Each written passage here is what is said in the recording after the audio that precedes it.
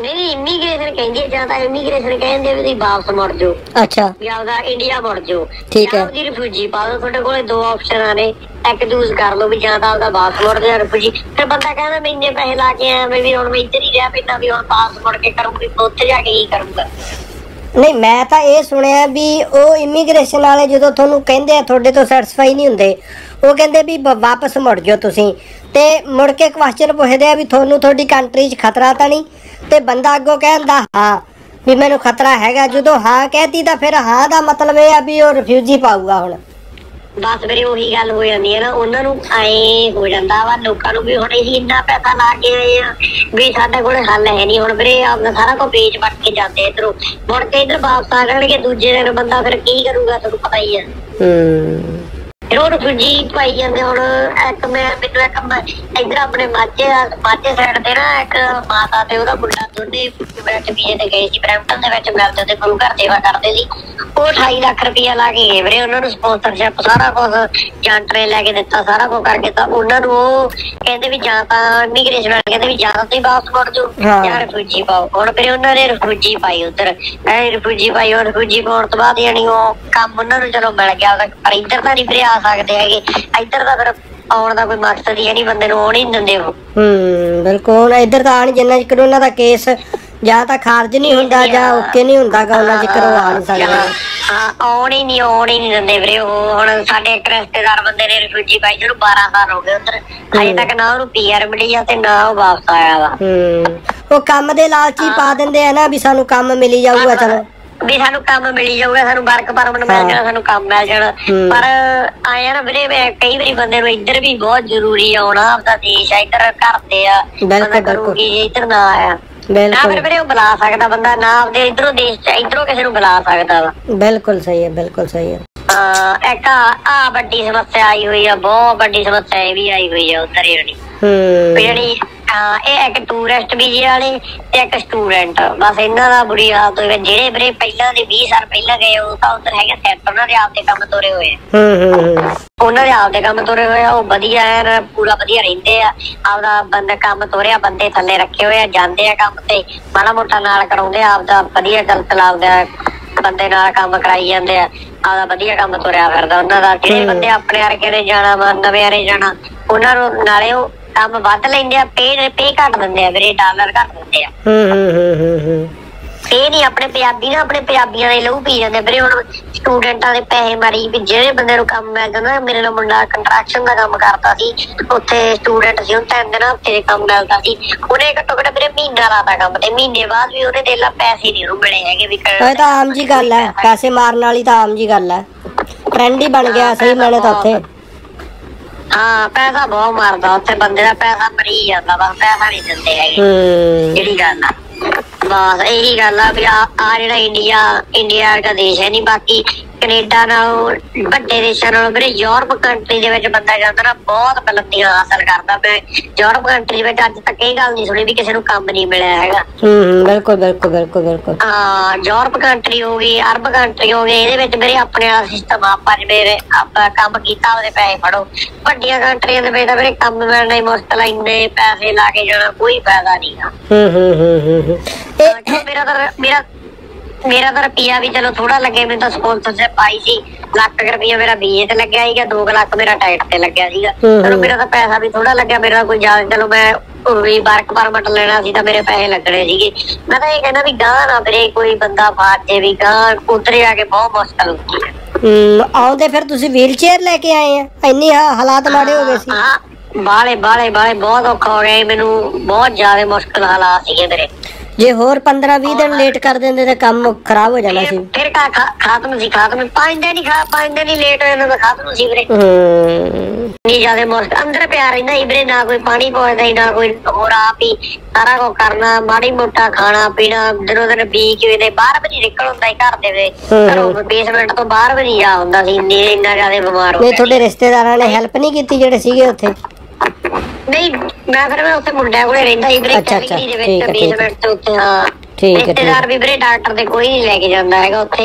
ਰਿਸ਼ਤੇਦਾਰ ਕਹਿਣ ਦੇ ਆ ਕੋਈ ਡਾਕਟਰ ਦੇ ਨੀ ਲੈ ਕੇ ਜਾਂਦਾ ਜਿੰਨਾ ਚਿਰ ਆਪਣਾ ਹੈਲਥ ਕਾਰਡ ਨਹੀਂ ਹੈਗਾ ਡਾਕਟਰ ਵੀ ਨਹੀਂ ਚੈੱਕ ਕਰਦੇ। ਨਹੀਂ ਕਰਦੇ, ਬਿਨਾਂ ਡਾਕਟਰ ਤੇ ਕੋਈ ਡਾਕਟਰ ਤੇ ਕੋਈ ਲੈ ਕੇ ਵੀ ਨਹੀਂ ਜਾਂਦਾ ਵੀਰੇ ਤੈਨੂੰ ਮੈਂ ਸਹੀ ਨਹੀਂ ਦੱਸਾਂ। ਵੈਸਟਰ ਵੈਸਟਰ ਵੀਜ਼ੇ ਵਾਲਾ ਤਾਂ ਇਲਾਜ ਕਰਾ ਹੀ ਨਹੀਂ ਸਕਦਾ ਇੰਨਾ ਮਹਿੰਗਾ ਇਲਾਜ ਹੈ। ਨਾ ਨਾ ਨਾ ਉਹ ਤਾਂ ਕਰਾ ਹੀ ਸਕਦਾ ਵੀਰੇ ਉਹ ਤਾਂ ਬਹੁਤ ਮੁਸ਼ਕਲ ਆ ਉਹ ਤਾਂ ਕਰਾ ਹੀ ਸਕਦਾ ਉਹਦਾ ਡਾਕਟਰ ਹੀ ਲੱਗਣੇ ਉਹਦੇ ਤਾਂ। ਹੂੰ। ਬਿਲਕੁਲ, ਬਹੁਤ। ਜ਼ਿਆਦਾ ਮੁਸ਼ਕਲ ਆ ਰਿਹਾ ਤਾਂ ਹਾਂ ਜਿਵੇਂ ਸਾਈਆਂ ਵੀ ਆਪਦਾ ਮਤਲਬ ਲੋਕਾਂ ਨੂੰ ਸ- ਸਮਝਣਾ ਚਾਹੀਦਾ ਥੋੜਾ ਵੀ ਆਪਦਾ ਹਿਸਾਬ ਨਾਲ ਜਾਣਾ ਵੀ ਜਾਣਾ ਆਪਦੇ ਜਿਵੇਂ ਜਿਵੇਂ ਆਪਦੀ ਫੈਮਿਲੀ ਪਹਿਲਾਂ ਤੋਂ ਗਈ ਹੋਈ ਆ ਉਹ ਸਾਂਭ ਲੈਂਦੀ ਆ ਪਰ ਰਿਸ਼ਤੇਦਾਰ ਰਿਸ਼ਤੇਦਾਰ ਕੋਈ ਨਹੀਂ ਕਰੇ ਸਾਂਭਦਾ ਨਹੀਂ ਸਮਝਦਾ ਬਿਲਕੁਲ ਬਿਲਕੁਲ ਬਿਲਕੁਲ। ਹਾਂ ਨਾ ਕੋਈ ਸਾਂਭਦਾ ਨਾ ਬਾਤਾ ਇਹ ਕੰਮ ਨਾ ਬੜਿਆ ਫਿਰ ਰੈਂਟ ਦੇਣ ਦਾ ਬੰਦੇ ਨੂੰ ਔਖਾ ਹੋ ਜਾਂਦਾ ਵੀ ਬੰਦਾ ਕਹਿੰਦਾ ਰੈਂਟ ਕਿੱਥੋਂ ਦਊਗਾ ਬੈਠਾ ਯਾਰ ਤੁਹਾਡੇ ਏਰੀਏ ਦੇ ਤਾਂ ਬੰਦੇ ਨਾ ਮਾਈਗ੍ਰੇਟ ਹੀ ਬਾਲੇ ਹੋ ਗਏ ਯਾਰ। ਪਿੰਡਾਂ ਦੇ ਪਿੰਡ ਵਿਹਲੇ ਹੋਏ ਪਏ ਆ।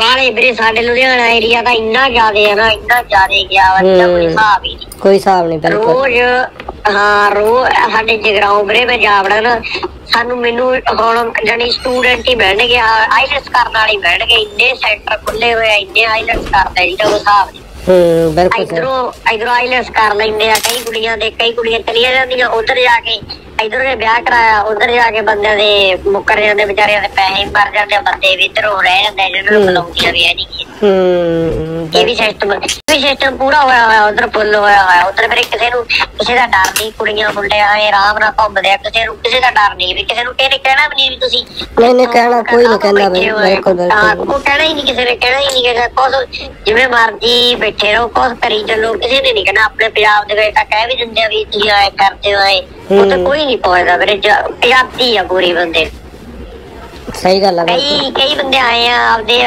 ਪਤਾ ਵੀਰੇ ਬੰਦੇ ਕਾਹ ਤੋਂ ਨਹੀਂ ਵਾਪਸ ਮੁੜਦੇ। ਇਧਰੋਂ ਪੈਸੇ ਲਵਾ ਕੇ ਚਲੇ ਜਾਂਦੇ ਉਧਰ ਜੇ ਕੰਮ ਮਿਲ ਵੀ ਗਿਆ ਠੀਕ ਆ ਜੇ ਨਹੀਂ ਮਿਲਿਆ ਤਾਂ ਤਾਂ ਵੀ ਠੀਕ ਆ ਆਪਦੇ ਇਧਰੋਂ ਪੈਸੇ ਹੋਰ ਕਰਦੇ ਤੋਂ ਮਗਾ ਮਗਾ ਖਾਈ ਜਾਂਦੇ। ਹਾਂ ਜਿੰਨਾ ਚਿਰ ਉਹਨਾਂ ਨੇ ਗ੍ਰੇਸ ਪੀਰੀਅਡ ਆ ਵੀ ਚੱਬ ਲੋ ਜਿੰਨੇ ਚੱਬੇ ਜਾਂਦੇ ਆ। ਹਾਂ ਹਾਂ ਹਾਂ ਤੇ ਘਰ ਦੇ ਨੂੰ ਪਤਾ ਕਹਿੰਦੇ ਆ? ਘਰ ਦੇ ਨੂੰ ਕਹਿੰਦੇ ਨਹੀਂ ਅਸੀਂ ਵਾਪਸ ਆ ਜਾਂਦੇ ਆ। ਘਰ ਦੇ ਕਹਿੰਦੇ ਨਹੀਂ ਤੁਸੀਂ ਦੇਖੋ ਅਜੇ ਕੰਮ ਹੋਰ। ਕਹਿੰਦੇ ਕਰੋ ਫਿਰ। ਕਹਿੰਦੇ ਵੀ ਖਰਚਾ ਪਾਓ ਤੁਸੀਂ। ਕਿ ਸਾਨੂੰ ਤਾਂ ਖਰਚਾ ਦੇਈ ਚੱਲੋ ਅਸੀਂ ਬੈਠੇ ਰਹਿੰਦੇ ਆ ਬਹੁਤ ਖਰਚੇ ਖਰਚੇ ਦਾ ਕੀ ਕਰਦੇ ਆ? ਦਾਰੂ ਪੀ ਜਾਂਦੇ ਆ ਬੰਦੇ। ਭਾਈ ਦਾਰੂ ਬਸ ਆਏ ਬਸ ਖਰਚਾ ਕੱਢੀ ਜਾਂਦੇ ਦਾਰੂ ਦੂਰੂ ਰੋਜ਼ ਪੀ ਜਾਂਦੇ ਨਸ਼ੇ ਕਰੀ ਜਾਂਦੇ ਆ। ਇਹ ਘਰਦਿਆਂ ਦੀ ਵੀ ਗਲਤੀ ਹੈ ਨਾ ਬਈ ਜਿਹੜੇ ਭੇਜਦੇ ਆ ਉਹ ਨੂੰ। ਉਹ- ਵੀ ਬਹੁਤ ਵੱਡੀ ਗਲਤੀ ਹੈ ਵੀਰੇ। ਮੈਂ ਕਹਿੰਦਾ ਉਹ ਤਾਂ ਸਭ ਤੋਂ ਵੱਡੀ ਗਲਤੀ ਹੈ ਘਰਦਿਆਂ ਦੀ ਵੀ ਕਈ ਤਾਂ ਧੱਕੇ ਨਾਲ ਭੇਜਦੇ ਆ ਵੀ ਧੱਕੇ ਨਾਲ ਬਾਹਰ ਜਾ ਜਿਵੇਂ ਡਾਲਰ ਉੱਥੇ ਪਏ ਹੁੰਦੇ ਆ ਨਾ ਬੁਰੇ ਭਰਨੇ ਹੁੰਦੇ ਜਾ ਕੇ। ਧੱਕੇ ਨਾਲ ਧੱਕੇ ਨਾਲ ਭੇਜ ਵੀਰੇ, ਉਧਰ ਜਾ ਕੇ ਨਾ, ਕਈਆਂ ਤੋਂ ਤਾਂ ਕੰਮ ਹੀ ਨਹੀਂ ਹੁੰਦਾ ਆਪ ਹੀ ਕੰਮ ਛੱਡ ਦਿੰਦੇ ਕੰਮ ਹੁੰਦਾ ਵੇ ਉਧਰ। ਕੰਮ ਕਿਉਂਕਿ ਅਗਲੇ ਲੈਂਦੇ ਵੀ ਬਹੁਤ ਆ, ਜਿਹਨੂੰ ਮਿਲ ਗਿਆ ਉਹਨੇ 11 12 ਘੰਟੇ ਖਾ ਨਹੀਂ ਦੇਣਾ ਹੈਗਾ ਹਾਂ, ਬਿਲਕੁਲ ਬਿਲਕੁਲ ਬਿਲਕੁਲ। ਇੱਕ ਵਾਰੀ ਉਧਰ ਆਏ ਆ ਦੇਖ ਆਏ ਜਿੱਦੇ ਆਪਾਂ ਕੈਨੇਡਾ ਚਲੇ ਗਏ ਆਪਣੀ ਭੁੱਖ ਘਟ ਰਹਿ ਘਟ ਜਾਣੀ ਆ ਨੀਂਦ ਘਟ ਜਾਣੀ ਆ ਸਟ੍ਰੈਸ ਵਧ ਜਾਣਾ ਵਾ। ਤਿੰਨ ਚੀਜ਼ਾਂ ਦੇ ਤਾਂ 에어ਪੋਰਟ ਦੇ ਉਤਰਨ ਸਾਰ ਆਪਾਂ ਨੂੰ ਫੜ ਲੈਣਾ। ਹੂੰ ਬਿਲਕੁਲ ਬਿਲਕੁਲ ਬਿਲਕੁਲ। ਤਿੰਨ ਚੀਜ਼ਾਂ ਤਿੰਨ ਚੀਜ਼ਾਂ ਤਾਂ ਮੈਂ ਲੈ ਕੇ ਰੇਨ ਨੂੰ ਤਿਆਰ ਆ ਭੁੱਖ ਘਟਣੀ ਆ ਨੀਂਦ ਘਟਣੀ ਆ ਤੇ ਸਟ੍ਰੈਸ ਵਧਣਾ ਵਾ ਟੈਨਸ਼ਨ ਵਧਣੀ ਆ। ਤਿੰਨ ਚੀਜ਼ਾਂ ਨੇ ਆਪਾਂ ਨੂੰ ਫੜ ਲੈਣਾ ਜਦੋਂ ਆਪਾਂ 에어ਪੋਰਟ ਤੋਂ ਉਤਰ ਗਏ ਵਾ ਹਾਂ ਇਹ ਚੀਜ਼ਾਂ ਮੇਨ ਆ ਉੱਥੇ। ਉੱਥੇ ਵੀਰੇ ਦੇਖ 11 12 ਵਜੇ ਬੰਦੇ ਸੌਂਦੇ ਆ 12 11 12 ਵਜੇ 10 ਵਜੇ ਟੈਨਸ਼ਨ ਦਾ ਤੜਕੇ ਨੂੰ 5 ਵਜੇ ਨੂੰ ਉੱਠਣਾ ਪੈਂਦਾ 5 ਵਜੇ ਉੱਠ ਕੇ ਆਪਦਾ ਖਾਣਾ ਪਾਣੀ ਬਣਾਉਣਾ ਸਾਰਾ ਕੁਝ 6 7 ਵਜੇ ਨੂੰ ਕੰਮ ਤੇ ਨਿਕਲਣਾ ਪੈਂਦਾ। ਤੇ ਜਿਹੜੀਆਂ ਵੀਰੇ ਅੱਜ ਦੀਆਂ ਰੋਟੀਆਂ ਵਾ, ਮੰਨ ਲਓ ਅੱਜ ਬਣ ਕੇ ਆ ਜਾਣੀਆਂ ਸ਼ਾਮ ਨੂੰ ਦੂਜੇ ਦਿਨ ਵੀ ਉਹੀ ਖਾਣੀਆਂ ਸ਼ਾਮ ਤੱਕ ਲਾ ਲਓ ਸਾਹਿਬ ਵੀ 3 ਵਜੇ ਤੱਕ ਉਹੀ ਖਾਣੀਆਂ ਰੋਟੀਆਂ ਕੰਮ ਤੇ ਵੀ। ਨਹੀਂ ਹੈਲਦੀ ਫੂਡ ਤਾਂ ਹੈ ਹੀ। ਨਹੀਂ। ਫਰੋਜ਼ਨ ਫੂਡ ਆ ਸਾਰਾ ਰੋਟੀਆਂ ਉਹ ਨਹੀਂ ਮਿਲਦੀਆਂ ਖਾਣ ਨੂੰ ਕੁਛ ਨਹੀਂ। ਨਾ ਨਾ ਸਾਰਾ ਕੁਝ ਹੀ ਵੀਰੇ ਸਾਰਾ ਆਪਣੇ ਆਪਣੇ ਇੱਥੋਂ ਵਰਗੀ ਥੋੜਾ ਮੌਜ ਆ ਵੀ ਆਪਾਂ ਇੱਥੇ ਦੇ ਆਪਾਂ ਨੂੰ ਆਪਾਂ ਰੋਟੀ ਆਪਦੀ ਰੋਜ਼ ਤਾਜ਼ੀ ਦੋ ਟਾਈਮ ਟਾਈਮ ਤਾਜ਼ੀ ਖਾਂਦੇ ਆ ਆਪਦੀ ਰੋਟੀ ਪਕਾ ਕੇ ਖਾਂਦੇ ਆ। ਬਿਲਕੁਲ ਸਹੀ ਉਧਰ ਤਾਂ ਕਰੋ ਵੀ ਹਾਂ ਵੀ ਬਾਅਦ ਪੈਕ ਕਰ ਲਿਆ ਬਈਆਂ ਖਾਣੀਆਂ ਪੈਣੀਆਂ ਉਵੇਂ ਬਸ ਠੰਡੀਆਂ ਬਈਆਂ ਉਵੇਂ ਖਾਣੀਆਂ ਪੈਣੀਆਂ। ਬਿਲਕੁਲ ਸਹੀ ਹੈ ਬਿਲਕੁਲ ਸਹੀ ਹੈ। ਹਾਂਜੀ ਹਾਂਜੀ ਬਸ ਇਹ ਤਾਂ ਹੁਣ ਮੈਨੂੰ ਬਹੁਤ ਮੇਰਾ ਦੇਖ ਮੇਰੇ 5 ਸਾਲ ਦਾ ਵੀਜ਼ਾ ਪਿਆ ਵਾ। ਮੈਨੂੰ ਬਹੁਤ ਕਹਿੰਦੇ ਵੀ ਕਿਵੇਂ ਵੀ ਤੂੰ ਮੈਨੂੰ ਕਹਿੰਦੇ ਵਾਪਸ ਨਹੀਂ ਆਉਣਾ। ਦੇਖੋ ਮੈਂ ਕਿਹਾ ਮੈਂ ਹਜੇ ਤਾਂ ਮੈਂ ਕਿਤੇ ਨਹੀਂ ਜਾਣਾ ਹੈਗਾ ਮੇਰਾ ਜੀ ਨਹੀਂ ਕਰਦਾ। ਮੈਂ ਕਿਹਾ ਮੈਨੂੰ ਤਾਂ ਕੰਮ ਵੀ ਮਿਲੇ ਚਲੋ ਮੈਂ ਕੰਮ ਕਮਾਈ ਬੰਦੇ ਨੇ ਕਰਨੀ ਹੈ ਕੰਮ ਕਰਨਾ। ਪਰ ਮੈਂ ਕਿਹਾ ਮੇਰਾ ਜੀ ਇਸ ਗੱਲੋਂ ਕਿਸੇ ਗੱਲੋਂ ਨਹੀਂ ਡਰਿਆ। ਮੇਰਾ ਜੀ ਨਾ ਆਪਦੀ ਸਿਹਤ ਲਈ ਡਰਿਆ ਵੀ ਮੈਂ ਬਿਮਾਰ ਹੋ ਗਿਆ ਤਾਂ ਮੈਨੂੰ ਉੱਥੇ ਕਿਸੇ ਸਾਂਭਿਆ ਨਹੀਂ ਬਾਤ ਨਹੀਂ। ਘਰ ਫਾਇਦਾ ਕੀ ਹੈ? ਮੈਂ ਕਿਹਾ ਉਹ ਜੇ ਦੇਖਦਾ ਵੀ ਜਿਹਨੇ ਹੀ ਨਹੀਂ ਬਿਲਕੁਲ ਸਹੀ ਹੈ ਬਿਲਕੁਲ ਸਹੀ ਹੈ। ਨਹੀਂ ਬੰਦਾ ਬਿਮਾਰ ਹੋਵੇ ਬੰਦੇ ਦੀ ਸਭ ਤੋਂ ਜ਼ਰੂਰੀ ਹੈਲਥ ਆ। ਜੇ। ਹੈਲਥ ਨਹੀਂ ਕੀ ਤਾਂ ਬੰਦਾ ਕਰੂਗੀ। ਬਿਲਕੁਲ ਬਿਲਕੁਲ ਬਿਲਕੁਲ।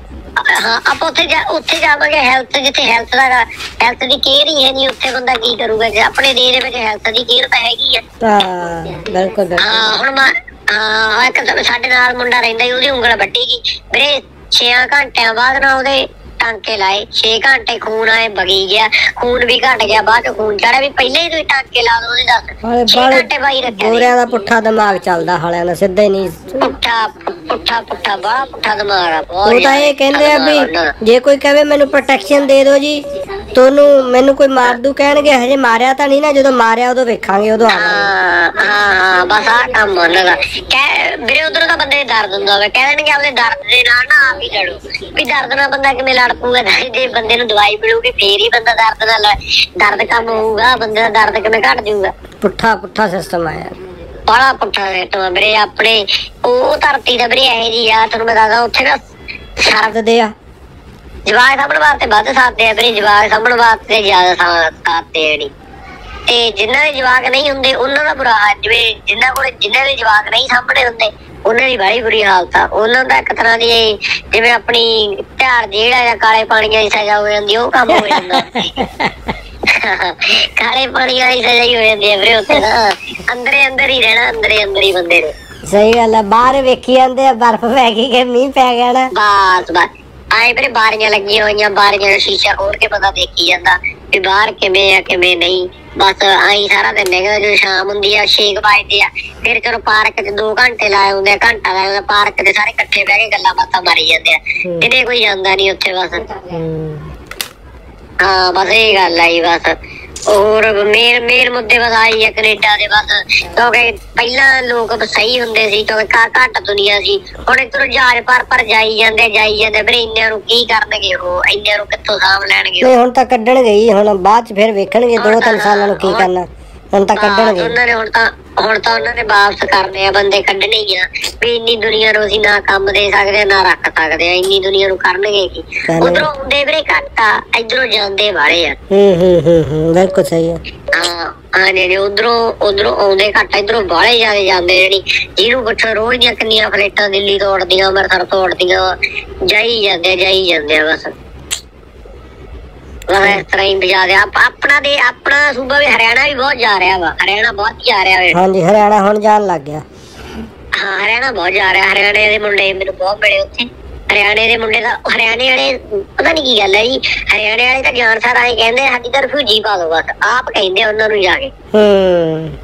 ਹਰਿਆਣੇ ਵਾਲਿਆਂ ਨੂੰ ਤਾਂ ਪਤਾ ਨਹੀਂ ਕੀ ਆਪਦੇ ਖਾਲੀ ਸੂਬੇ ਨਾਲ ਦੇਸ਼ ਉਹਦੇ ਨਾਲ ਪਿੰਡ ਨਾਲ ਘਰ ਦੇ ਨਾਲ ਪਿਆਰ ਨਹੀਂ ਤੇ ਇੱਕੋ ਗੱਲ ਹੀ ਉਹਨਾਂ ਦੇ ਮੂੰਹ ਤੋਂ ਸੁਣੀ ਵੀ ਸਾਡੀ ਤਾਂ ਰਿਫਿਊਜੀ ਪਾ ਦੋ ਬਸ। ਹੂੰ। ਆਏ ਹੋਰ ਕੋਈ ਕੰਮ ਨਹੀਂ ਆਪਣੇ ਪੰਜਾਬੀ ਦਾ ਫੇਰ ਵੀ ਕਹਿੰਦੇ ਵੀ ਨਹੀਂ ਪਾਉਣੀ ਨਹੀਂ ਕਰਨਾ ਇਹ ਕਰਨਾ। ਤੇ ਪਰ ਹਰਿਆਣੇ ਦੇ ਲੋਕ ਤਾਂ ਬਾਹਲਾ ਜ਼ਿਆਦਾ ਉਹ ਕਰਦੇ ਵੀ ਰਿਫਿਊਜੀ ਪਾਉਣ ਜਿਹੜੀ ਰਿਫਿਊਜੀ ਪਾ ਦੋ ਉਹਨਾਂ ਨੂੰ ਆਏ ਹੁੰਦਾ ਵੀ ਸਾਡੇ ਵਰਕ ਪਰਮਿਟ ਦੇ ਪੈਸੇ ਬਚ ਜਾਣਗੇ ਸਾਨੂੰ ਖਾ ਸਰਕਾਰ ਖਰਚਾ ਦੇਈ ਚੱਲੂਗੀ ਬਸ ਬਿਲਕੁਲ ਇਹ। ਬਿਲਕੁਲ ਬਿਲਕੁਲ ਬਿਲਕੁਲ ਬਸ ਇਸ ਤਰ੍ਹਾਂ ਹੀ ਹੈ ਸਿਸਟਮ ਹੋਰ ਤਾਂ ਨਹੀਂ ਬਸ। ਹੁਣ ਹੁਣ ਤੁਹਾਡੀ ਸਿਹਤ ਸੂਤ ਹੁਣ ਠੀਕ ਹੋ ਗਈ ਓਕੇ ਹੋ ਗਈ ਜਮਾ ਬਸ?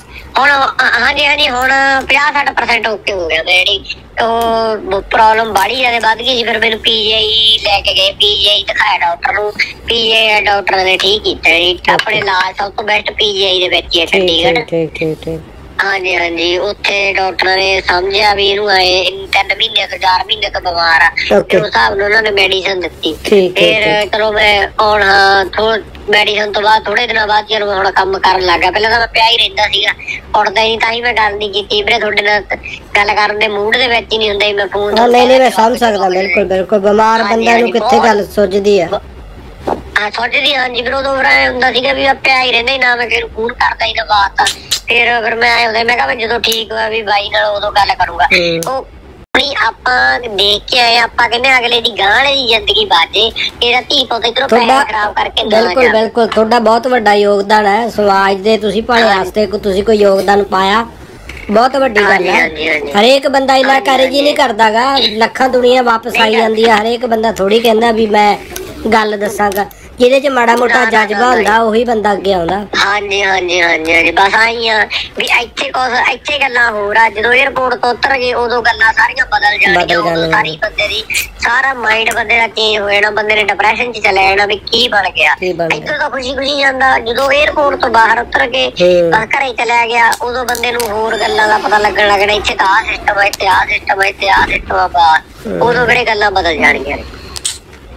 ਜੋ ਜੋ ਬੰਦਾ ਦਾ ਹੋਇਆ ਜਿਹੜਾ ਬੰਦਾ ਦਾ ਦਿਲ ਦਾ ਕਹਿਣਾ ਉਹਦਾ ਚੱਲ ਜਾਂਦਾ ਜਿਹੜਾ ਦਿਲ ਦਾ ਥੋੜਾ ਜਿਹਾ ਮਾੜਾ ਵਾ ਉਹ ਬੰਦਾ ਨਹੀਂ। ਚੱਲ ਹੁਣ ਮੇਰੇ ਨਾਲ ਵੀਰੇ ਜਦੋਂ ਮੈਂ ਵਾਪਸ ਆਇਆ ਨਾ ਮੈਂ ਕਹਿ ਲਈ ਕਿ ਕੋਈ ਫਲੈਟ ਸੀ। ਅੱਛਾ। ਕੁੜੀ ਇੱਕ ਇੱਕ ਮਹੀਨਾ ਪਹਿਲਾਂ ਹੀ ਆਪਣੇ ਇਧਰ ਵਾਲੀ ਸਾਈਡ ਮੁਕਤਸਰ ਸਾਈਡ ਦੀ ਕੁੜੀ ਸੀ।